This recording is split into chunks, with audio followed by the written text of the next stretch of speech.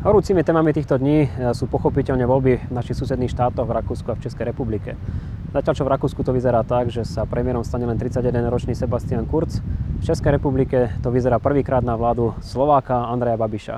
V oboch prípadoch je ale zaujímavé sledovať to, ako sa skladá vládna koalícia. Zatiaľ čo v Rakúsku sa pravdepodobne súčasťou vládnej koalície stane strana Slobodných, ktorá v minulosti práve v takejto kombinácii ľudovci Slobodní vyvolala pomerne veľké ohlasy aj v Európskej únii a je tu pomerne veľké riziko e, pomerne silného extrémneho smerovania e, tejto politickej strany, aspoň podľa vyjadrení z minulosti.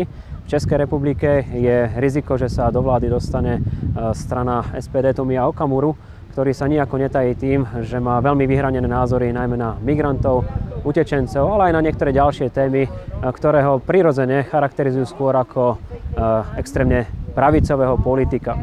Eh, bude ale eh, veľmi zaujímavé sledovať, eh, akým spôsobom sa tieto strany začnú správať, keď sa stanú súčasťou exekutívy, pokiaľ k tomu samozrejme dôjde, pretože už máme z minulosti skúsenosti, že práve toto je spôsob, ako do istej miery tieto politické strany umravniť a aj preto je potrebné rozlišovať medzi rôznymi politickými extrémistickými stranami naprieč Európou.